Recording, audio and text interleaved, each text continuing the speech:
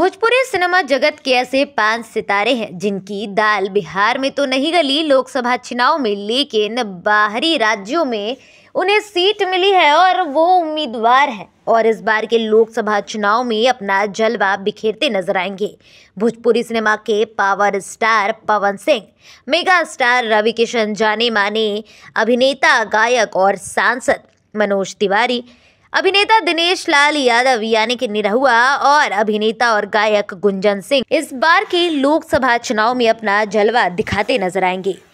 ये सभी पाँच ऐसे उम्मीदवार हैं जो भोजपुरी सिनेमा जगत के सितारे हैं और इस बार अपना जलवा दिखाने के लिए बेताब है। भोजपुरी सिनेमा के पावर स्टार पवन सिंह की अगर बात करें तो बिहार के काराकाट से चुनाव लड़ने का उन्होंने ऐलान कर दिया है, लेकिन उनसे जुड़ी एक खबर सामने आई है, जहाँ ये कहा जा रहा है कि पवन सिंह भाजपा के टिकट से चुनाव लड़ सकते हैं। इससे पूर्व भाजपा ने पवन सिंह को बीजेपी पाँच पश्चिम बंगाल के आसन सोल से अपना उम्मीदवार बनाया था, लेकिन पवन सिंह ने यहाँ से चुनाव लड़ने से मना कर दिया। अब बात करते हैं मनोज तिवारी की। मनोज तिवारी ने साल 2009 में राजनीति में अपना एंट्री किया। मनोज तिवारी ने साल 2009 में गोरखपुर सीट से समाजवादी पार्टी के टिकट पर चुनाव लड़ा। उनका मुकाबला भाजपा प्रत्याशी, जो अभी यूपी के मुख्यमंत्री हैं, योगी आदित्यनाथ से हुआ। इस चुनाव में मनोज तिवारी पराजित हो गए। इसके बाद मनोज तिवारी भाजपा में गए। उन्होंने साल 2014 और 2019 में उत्तर पूर्वी दिल्ली सीट से भाजपा के टिकट पर चुनाव लड़ा और जीत हासिल की।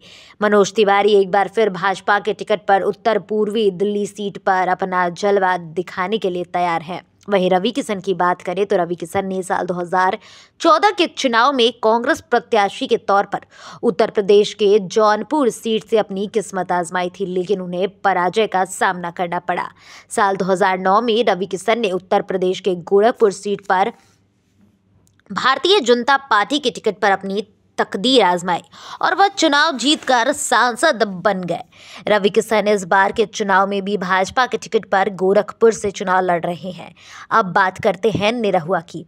निरहुआ का पूरा नाम दिनेश लाल यादव है और साल 2019 के लोकसभा चुनाव में भाजपा के टिकट पर उत्तर प्रदेश के आजमगढ़ संसदीय सीट पर उन्होंने अपनी किस्मत आजमाई। लेकिन उन्हें समाजवादी पार्टी अध्यक्ष अखिलेश यादव से हार का सामना करना पड़ा। साल 2022 में आजमगढ़ सीट पर हुए उपचुनाव में निरहुआ ने भाजपा के टिकट पर जीत हासिल की। निरहुआ आजमगढ़ सीट से फिर एक बार अपनी किस्मत आजमाने के लिए चुनावी मैदान में उतरेंगे। इस लिस्ट में सबसे अंतिम नाम आता है गुंजन सिंह का। गुंजन सिंह ने इस बार निर्दलीय चुनाव लड़ने के लिए नामांकन तक कर लिया है और वो इस बार निर्दलीय चुनाव बिहार के नवादा से करने वाले हैं। तो ये वो भोजपुरी के पाँच ऐसे स्टार हैं, जिनकी दाल बिहार में तो नहीं गली।